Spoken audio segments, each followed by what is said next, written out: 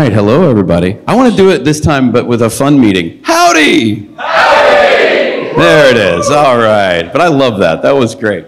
Um, okay, so uh, many of you here know Texas A&M or are from Texas A&M, but Texas A&M has been an amazing educational partner for Side Effects for many, many, many years. Uh, I think we have a pretty great relationship. pretty awesome. We've got employees back here from Texas A&M. We've had many interns from Texas A&M. Uh, and the student work is always fascinating and amazing. So we want to highlight some of that work here today and some of the programs that are going on uh, at Texas A&M and College Station. So I am going to hand it over to Matt to take over from here, and I will have the mic available for um, the team to introduce themselves. So, Matt. Hi, everybody. Uh, my name is Mayet Andreassen, and I am the um, associate. Oh, thank you. I'm the associate program director for the BS in visualization, and I'm also an instructional assistant professor, so I teach classes as well. And um, our students uh, really have uh, taken to using Houdini wonderfully. These are some examples of some of their work. Uh, here's a picture of me. So our students are Julia Bosford, Skylar Thomas, Alyssa Curran, uh, Izzy Rollo, Emma Krilowitz, Ryan Appleby, Macy McCuller, and Sarah Razuk. Um, a little bit of background about visualization, and then I'll have the students introduce themselves, give you a little of their background, and let them take over. Um, so visualization is now part of the School of Performance, Visualization, and Fine Arts. Yay! Woohoo! and um, uh, as uh, was introduced by John, our, students, students use Houdini both in game development and in animation production classes to wonder, wonderful effect. This year, um, a, a, large part of the um, uh, work that is going to be introduced uh, is going to have grooming introduced. So for summer industry course, last summer, summer 20, or this past summer, 2022, uh, our, our school teamed up with DreamWorks Animation, and part of the scope that DreamWorks set for the students was they had to bring a toy to life and they had to integrate a groom in that. Okay, so I am going to let the students take over now. Who's going Who wants first? to get started? Yeah, you guys would go ahead and use the podium if you want one at a time, but yeah, for introductions, yeah. All right. Uh, howdy. My name's Ryan Appleby. Uh, I'm a senior. That's it. Uh, cool. Uh, howdy. My name is Emma Krylowitz, and I'm also a senior. Why do you use Houdini? Houdini's fun. they will. Uh, hi, I'm Skylar. I'm a master's student, and I got to first use Houdini this past summer with our short. Hi, I'm Macy McCullough. I use Houdini specifically for games. Hi, I'm Alyssa Curran. I'm a master's student and I used Houdini this summer to create a character groom for our animation short. Hi, I'm Julia Boisvert. Uh, I'm a senior and it was also my first time using Houdini this summer. Hi, I'm Sarah Razuk. I'm a master's student and I used Houdini this summer for micro dressing.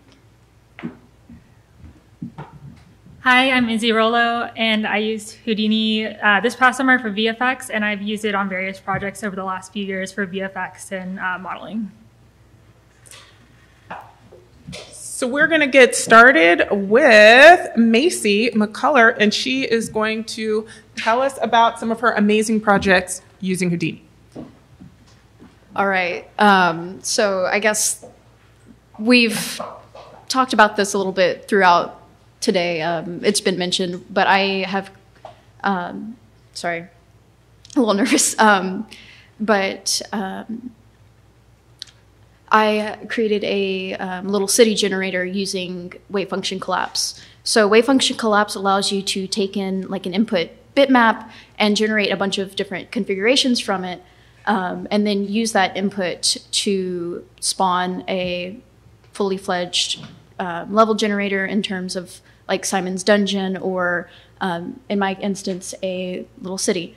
Um, for example, you know, the what's going on behind the hood is you have um, a series of like black and white or different um, points which then allow you to show um, or signal to the program of where you want like the blocked off areas versus the active like walkways and stuff like that.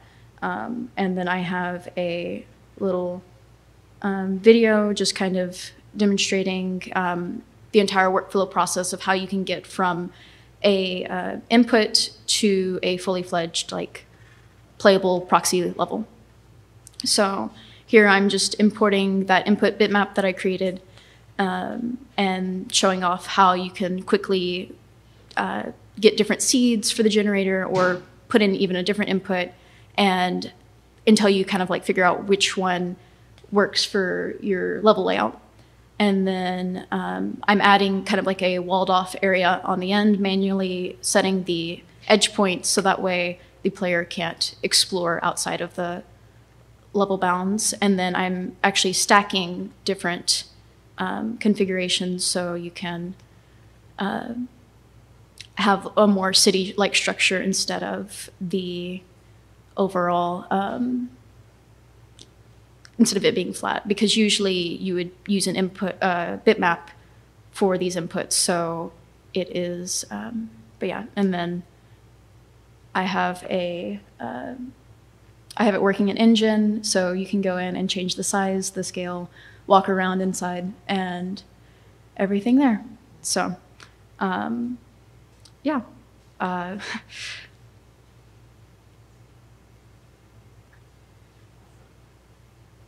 And then um, I also have another project that I worked on. Um, so I actually made this for the Houdini Game Jam with um, two of my fellow students that are actually here, V and Brad.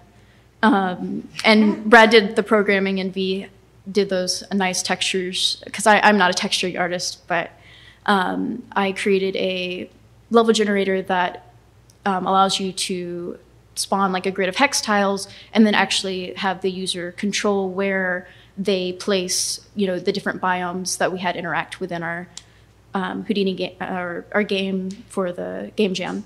So here I have a little bit better of uh, demonstration of what it looked like working in Engine. So um, I'm adding water, rocks, um, different sand sims, and or not sand sims, um, but sand areas and um, elevation, sh showing um, we had tree resources that we needed to add, and it's all driven off of attribute paint. So um, the user is just has a uh, paintbrush and allow it.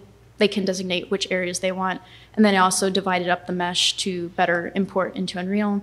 Um, the other thing that was pretty cool about this specific instance is we tried to use as much like Houdini and Unreal like crossover. So all of our blueprints and all of the interactables were spawned in our game using Houdini, um, specifically with the Houdini engine um, crossover there. But yeah, so um, I, I like level generation, and this was some of my work.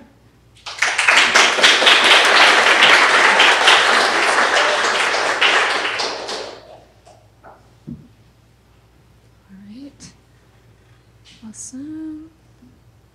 Um, so Maya kind of already introduced SIC. Um, so all the next like few projects that we're going to show are examples of how we used Houdini this past summer in our projects. Uh, so Skylar and I both worked on Forsaken with a team of four others. Um, Daniel's actually here; he was on our team as well. Um, I can go ahead and play it. I don't know if there's audio.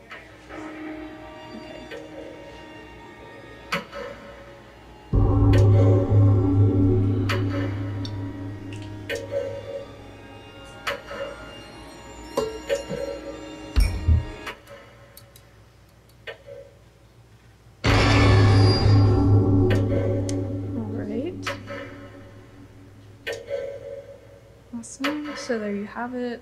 It is not exiting for some reason. There we go. All right, um, so one of the most challenging parts of this SIC was, like Mayet mentioned, we had introduced grooming as part of the requirements. And as soon as we decided that our character is going to be a doll, um, I realized, okay, so we're gonna have to do like an actual full hair groom. Um, and so originally the plan was to use XGen for that. Um, but our pipeline tech, who knew a lot about XGen and how to get it to render on our pipeline, was leaving in a week uh, to go work at Pixar. And so, like, we quickly were like, oh my gosh, we're going to have to figure all this stuff out. We're going to have to get it to render on our pipeline somehow by the end. Um, and so we started kind of exploring other avenues. Um, Ryan and I spent some time like working with curves in Houdini and bringing those into Maya and rendering them with RenderMan. And we found that to be like a very easy process for us. Uh, and so we quickly pivoted to that instead. Um, so I was a look development artist uh, for my team, and I worked on the doll hair groom. And so this kind of was the start of the process, as you can see. Uh, so I worked with a hybrid process between like XGen and Houdini. And so uh, I, I, started in Maya modeling out the tubes. Um, and tube grooming essentially uh, is a process where you model tubes and uh, you kind of fashion them into like the shape of the hair that you're going for. And from those tubes, you can generate guides, which then generate the hair. And so I spent some time in Maya first, getting that process down, getting kind of the shape that we wanted for the hair. Uh, and then the next step was to bring those guides that were generated within XGen uh, into Houdini. Um, so basically, the whole process was I would get those guides, I would bring them in as curves to Houdini, uh, get those curves uh, to read as guides, and then I would move on to the styling. So those guides would generate the hair, um, and and then I would just be able to actually like play around with the hair with the texture of it. Uh, this was actually kind of an extensive process just because there wasn't a whole lot of you know documentation just for like actually figuring out how to get um, curves from Maya into Houdini to get them to work with this process. Um, I also ended up figuring out that if you separated the groom into like a lot of separate parts, so I'd bring in the curves um, into like separate groups, uh, and then like have them as different guide groom nodes. Then I was able to better control the actual shape of it. Uh, so that that very um, right side, that right picture, uh, the styling process was actually so much fun to do in Houdini because um, you basically just got to add a lot of procedural noise onto it, which was super fast and super iterative. Um, but you also, within like the actual guide groom nodes, so with the guides, you could go in and kind of paint in shapes that you wanted.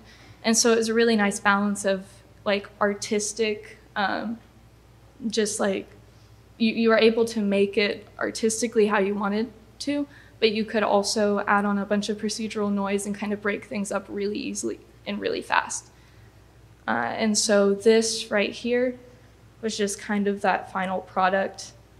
Um, so I, this process was really a great process because I think it will allow like our pipeline in the future to just use Houdini more often, um, especially because our pipeline can handle like curves from Houdini. So, I mean, beyond hair, like you can you can use that for a bunch of different tools. We'll see that later on the presentation. Um, but it was just a lot of fun to play around with and a really great experience overall. Right. Go ahead and pass off to Skylar. Hello, my name is Skylar. I was the effects and animation lead for our project. This is just a quick breakdown of some of the effects um, we did, and then I'll go into further detail after this video.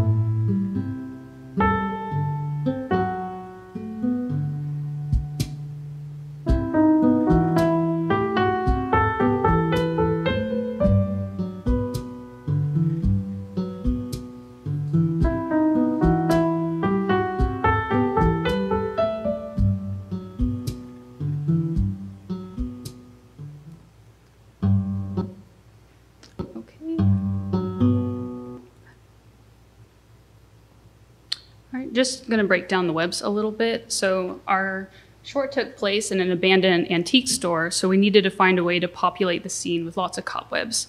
And so I did not want to have to hand model these cobwebs, uh, so I jumped into Houdini, did a lot of research and a lot of learning, and started to iterate.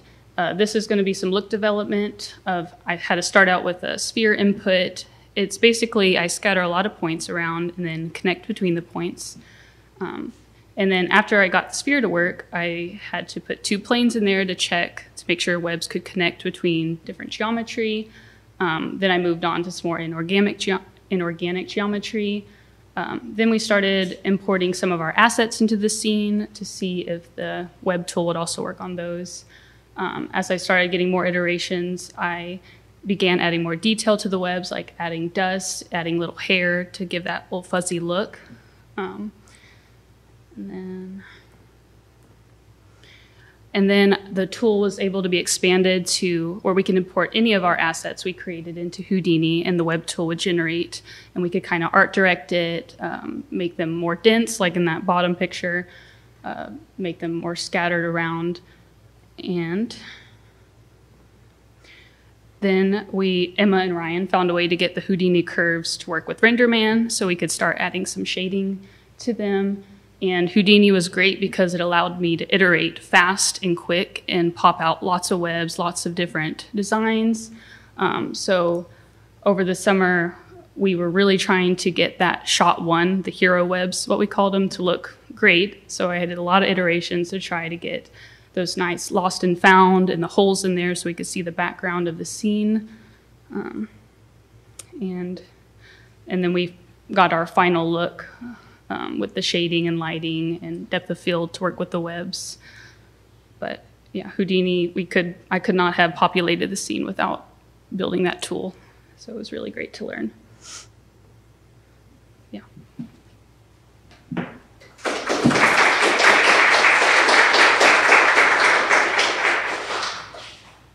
Hi, I'm Alyssa. Um, I am a surfacing and look development artist. And my main responsibility on this short that I worked on with a team of five other artists was to create the character's short fur groom. And I also did some background prop uh, modeling and surfacing. And I can go ahead and play this short.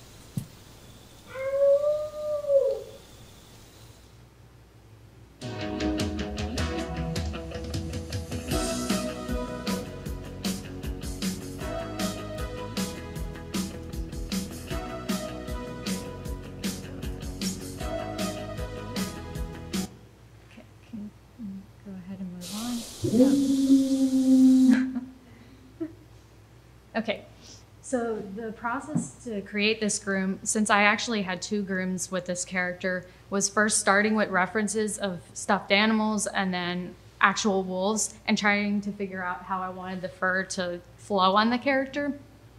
Um, a main part of this groom was getting the directionality to work so it feels believable like a real stuffed animal.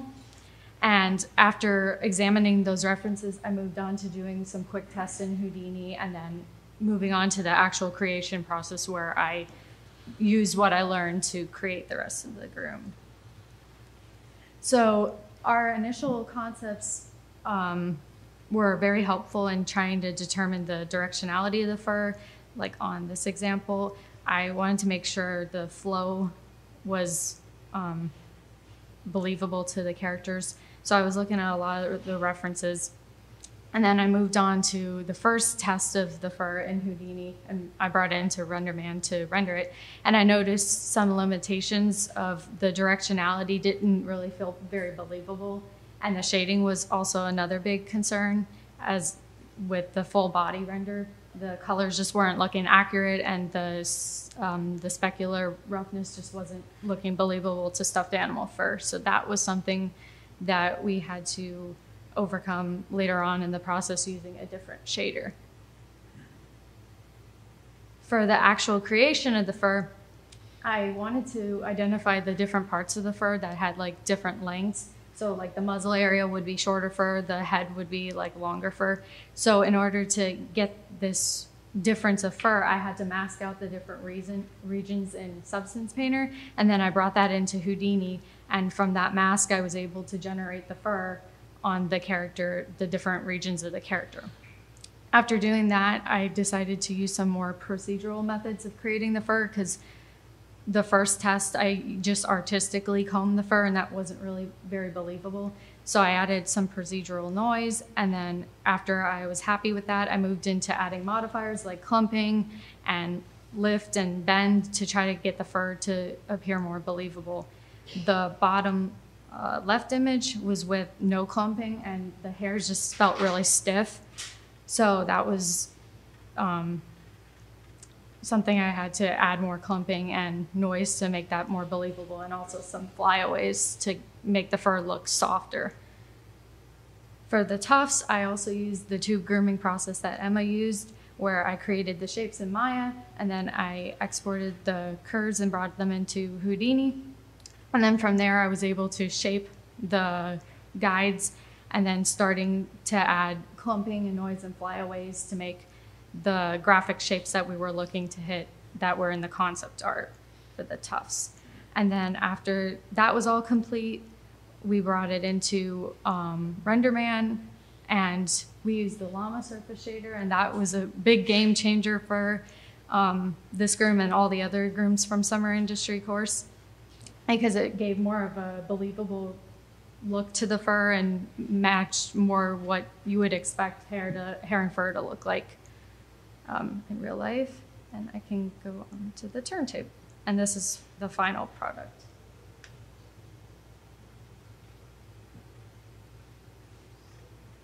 And that's all.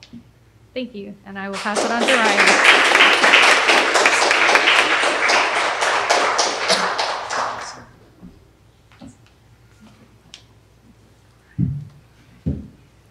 Howdy, y'all. Uh, my name's Ryan again. Um, so this summer we worked on the short called Lily, so I'll go ahead and play that for you.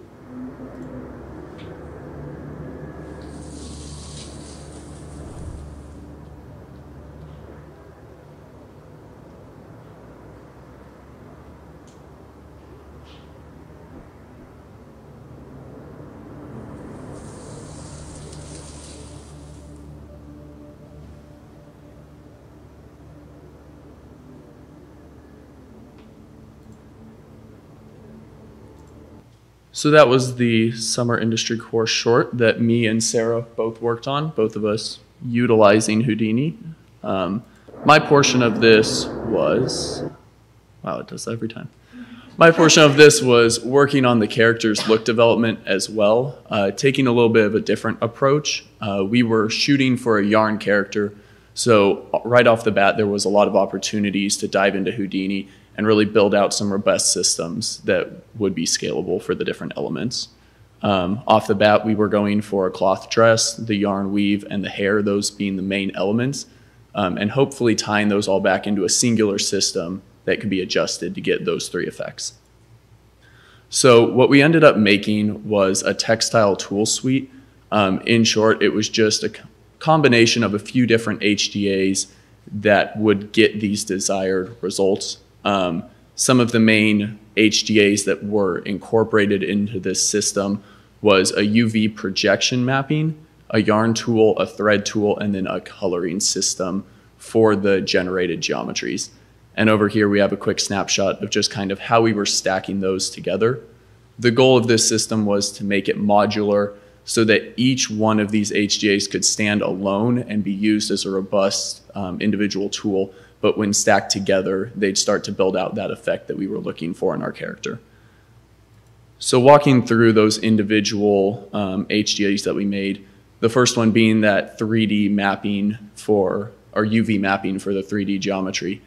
Um, the idea behind this, many other people have already started to dive into this system.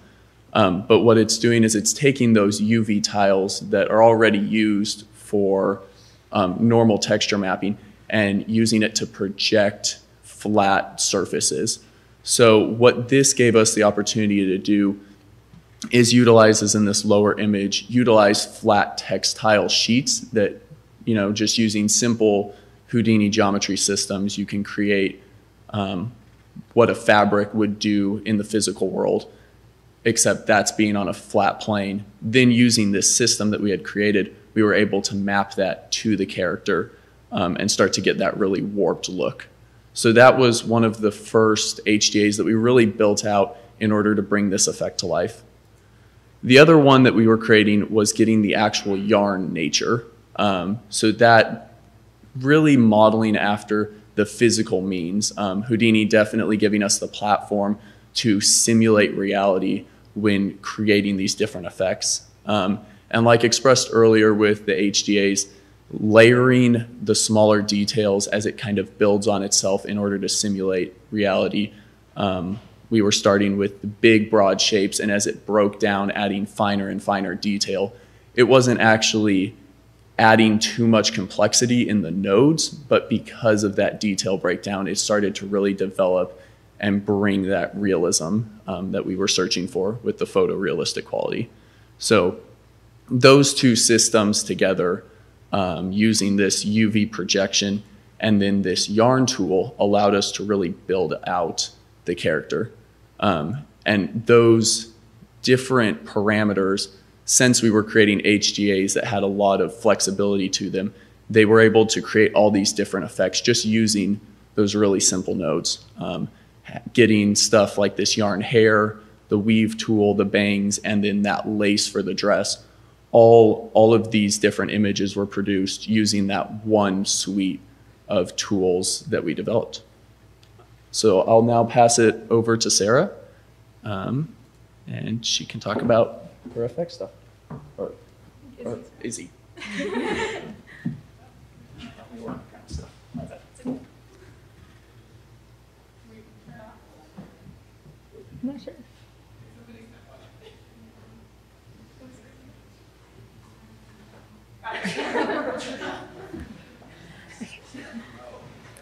Hi, I'm Izzy. I was the VFX lead on this project. Um, I worked on the candle flames.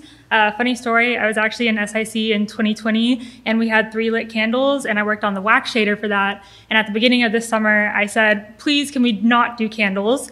Um, and we ended up having a total of 50 lit candles between two shots in our four shot uh, project. So um, here's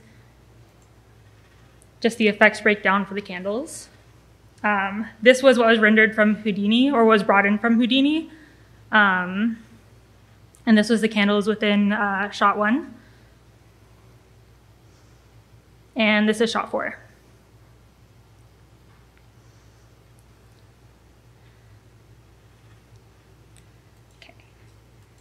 So the main challenge for, let's see, let's go here. The main challenge that I had for creating this um, candle effect was that we had to, uh, in shot one, have all of these instance candle flames come on at different times. Um, in shot four, we had to have all of the candle flames turn off at different times. And we wanted to have artistic control over that. Um, and so what we ended up doing, because um, we would have been able to use something like the x coordinate, y coordinate to turn off these candles by their location in the scene, but we, in our project, they were kind of circling our character. Um, so I had to come up with a different solution for how I instanced them and um, directed like what time they would come on.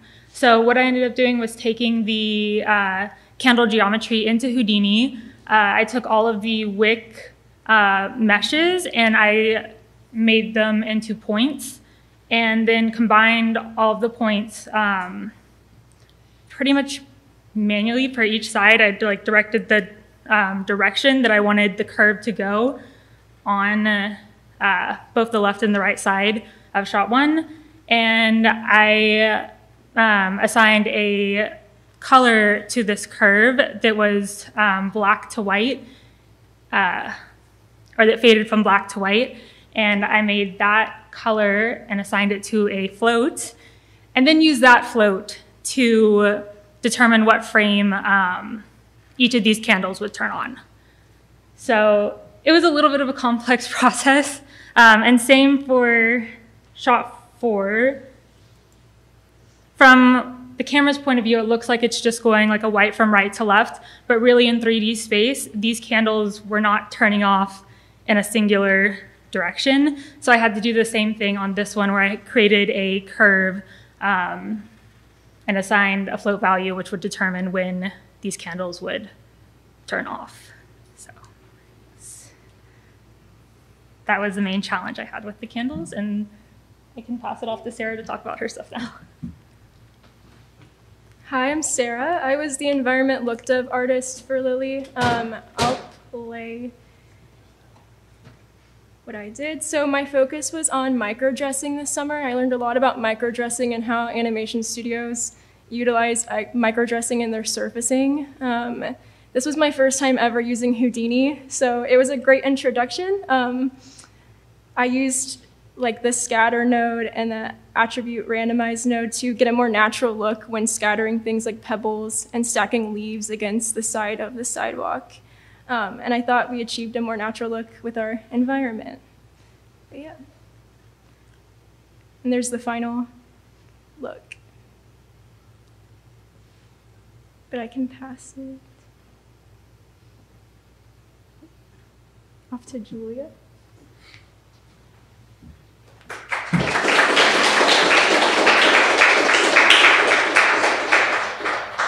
Hi, I'm Julia. Um, I was the look development and groom lead for our short Serendipity, so I'm gonna go ahead. Oh, oh goodness. Go ahead and play this.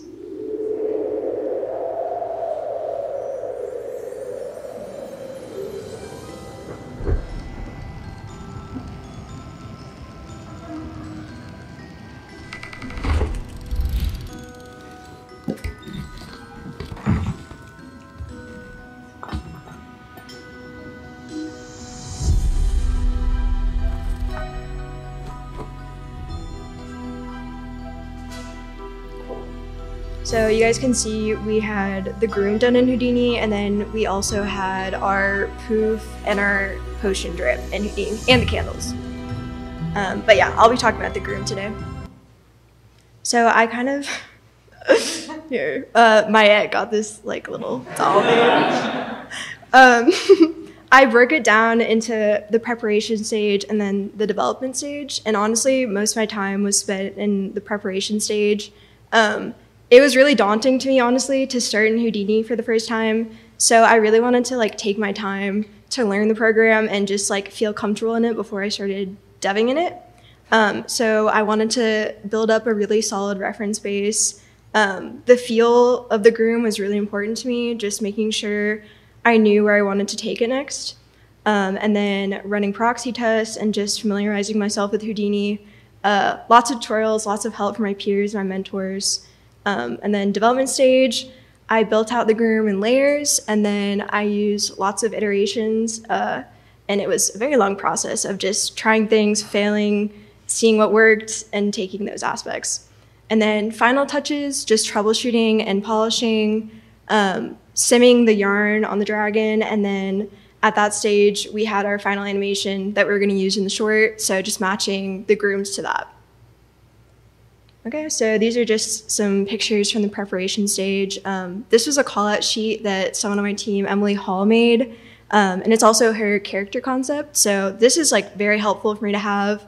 Um, just not having to like guess where I'm taking the groom, really knowing that I want like a matted fell, I want this texture to be smoother.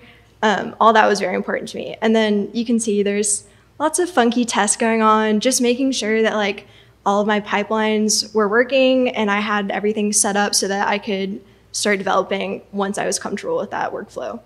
Uh, and then here's like the halfway point in this semester, you can see it was still looking crazy. Um, just one groom layer, uh, and a lot of the developing didn't happen until towards the very end of the summer. Okay, and then as far as the development stage, um, I used a layered groom to help add depth and variation in the groom. Uh, I wasn't initially planning on doing that, but it ended up being that as I went, I wanted more and more depth, so I kept adding on grooms. And in the end, I ended up with my base groom, lift, clump, and straight hair groom. So I had all those on the same mesh layered. Um, and I used a lot of different grunge maps and paint maps to diversify which areas I wanted to be affected by the modifiers. Um, I tried to go in with like an open mind and try things that seemed maybe like a little bit unconventional uh, as far as workflow and just like tried to see what worked for me. Um, so lots of like interesting different tests I did. Um, I also, like I was saying, I relied a lot on randomization and masking, uh, and I really wanted to have a lot of breakup in my silhouette. Um, and I kept the groom as procedural as possible for easy iterations and model switch outs. Um, the model is being worked on for a lot of this class, uh, and same with animation. So it was really important to me that I was able to switch out uh, the groom and continually update it. And I really tried to keep it procedural until the end, um, just to help my workflow a lot. And then as far as the tail animation, uh, I simulated all of the yarn right here along the dragon's back. Um, and for that process, I created a polywire.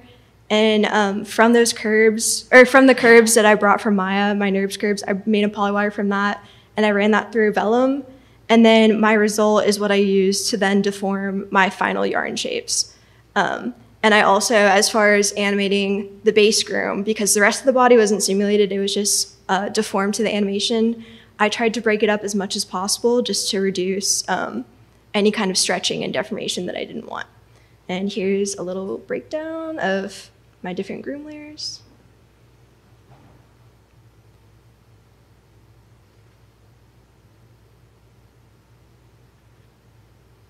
And then here's how my simulation came out. So just giving it a little bit of movement. Okay. And then this was my end groom result.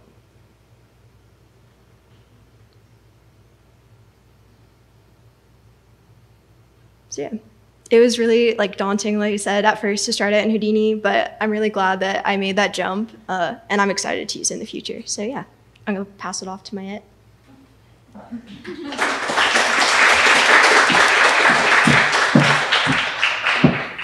All right, well, I just have uh, the contact information for all the students, but uh, does anybody have any questions for them? Okay.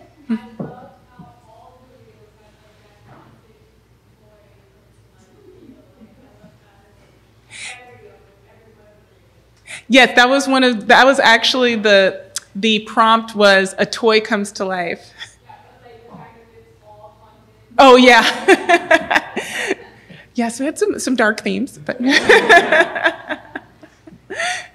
any other uh, questions for our, our, wonderful? You guys come on up. Here. in the corner. I'm super impressed with the work, you guys. This is incredible. And I love the way you presented yourselves and the work, and I just loved it. So, congrats to all of you.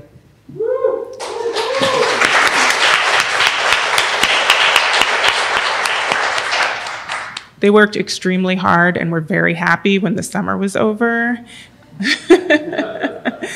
um, and Macy did not have to like get in sucked into that. I, I was watching from afar. um, yeah, I, I, deal with games. I couldn't do the animation stuff. Any other questions for our wonderful students? Oh, yes. Oh, Here we go. I have a question for Ryan. Um, as far as the yarn HDA goes, I just want to know like the general workflow. Was that all done within one asset, or did you use the curve? Like I know you started with the uh, the big shapes, and then you went to the small shapes, small shapes. Is that all in one HDA, or was that spread out over a few different ones? So definitely just how I work in Houdini. Um, there's a lot of nesting and making smaller systems, just putting them in subnets and dragging them around. So at least for the specific yarn portion, uh, that base shape actually came from diving into the SideFX website and pulling up um, some of that rope tutorial that they had shown earlier.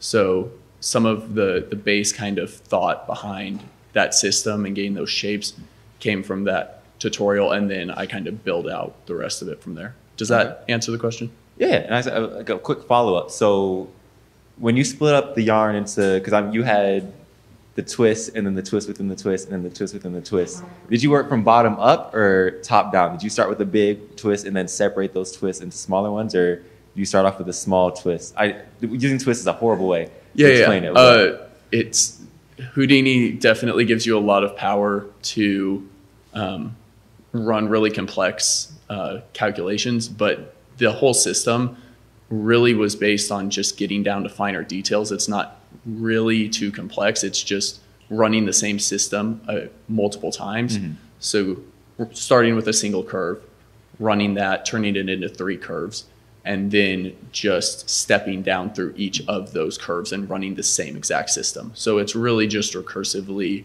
um, compounding on itself. But it starts with the main structure and then goes down to the fine threads. Does that make sense? Got you. Yeah, no, thank you. Yeah, of course. Are there any other questions? Yeah, in the back. I feel like Phil Donahue. I think I just aged myself there, but Um, for those of you who had their uh, first time using Houdini, uh, I'm curious to know like what your learning process was. What resources did you use? Did you do a lot of the learning like online or on the Houdini platform? Like, what was your process for that? At least like for me, I used a ton of online tutorials. Um, there's a lot of step step up to the. There you go. Um, yeah, I used a lot of online tutorials. There's like a lot of great resources for me online. Um, and I also had like a ton of help from my peers and the mentors at DreamWorks. Um, so definitely having like a support system was a big part of it for me. What would you? Sorry. Oh, I was just gonna say, yeah, same for me. A lot of help from peers, and then Alex Timchenko at DreamWorks was a huge help when he came down to visit, um, just teaching me like basics and kind of helping me get that set up. So yeah. So the mentorship definitely hel- helped with that a lot, giving you guys the direction. So for somebody who's like starting out, what would your recommendation be? I would say start small. Um, Feel feel free to step up to the mic there. Yeah. Uh, start small, but also like don't be afraid to just dive in. It's okay to fail. Uh, it's okay to fail a little bit. That's part of the process. Um, yeah, I think just honestly looking in places that you wouldn't like expect to look for help.